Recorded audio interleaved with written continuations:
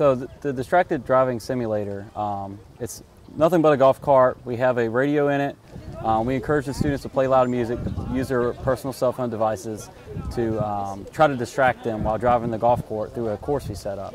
Uh, it's supposed to simulate someone driving distracted out on the highways of the Commonwealth.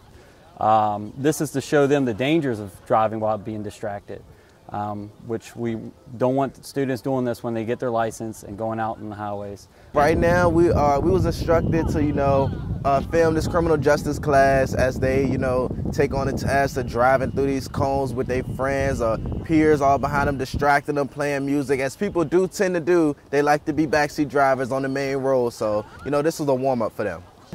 The golf cart itself was hard to drive, but one thing I did learn was with your phone or music on, it is hard to drive and you have to have like two hands on your steering wheel. You can't just do one-handed Vin Diesel type stuff. I get a lot of people pull, um, make traffic stops when people are using their cell phones and they're saying it's work related.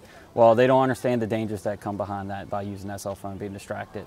I think it's a good idea because it shows you how truly distracting driving and looking at your phone is and really not paying attention to the road could be a dangerous thing, especially when you see people knocking over cones and it could not be a cone, it could be a person or a dog or a cat or really anything. So it just takes a second. You look at your phone, you, you're reading a text message, next thing you know, you're drifting off to the right and you just sideswipe the car beside you. Or you're driving, it's raining out, and you got a movie playing on your phone, you're going too fast for the road conditions, you hydroplane and run off the road and hit a tree. It's unfortunately that that, that happens, but it all could have been prevented by not distracting driving.